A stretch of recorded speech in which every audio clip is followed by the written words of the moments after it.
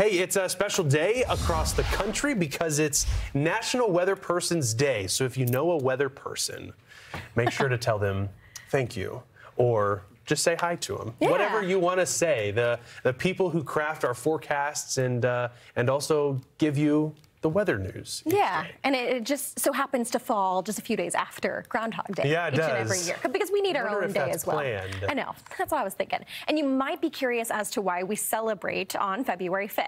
Well, it's because today marks the birth of John Jeffries. So. Not really planned. It was a birthday. Yeah, right. Jeffries was one of America's first weather observers. Yeah, he began taking daily observations in Boston way back in the 1700s, so before Phil was forecasting Yeah. Punxsutawney. Oh, and he, um, of course, you consider the weather people. You've got the ones on TV, you have ones that work behind the scenes, Mm-hmm. you have the forecasters at the National Weather Service offices, public and private jobs. I mean, uh, meteorologists are vital in understanding how the atmosphere behaves and what goes into a forecast so we can keep you ahead of that storm. Yeah, and here's a shot of just some of the meteorologists on our Fox Weather staff. We want to wish a very happy National Weather Person's Day to all of the forecasters and meteorologists out there, both on and off cameras. We've got more Fox Weather coming up after this.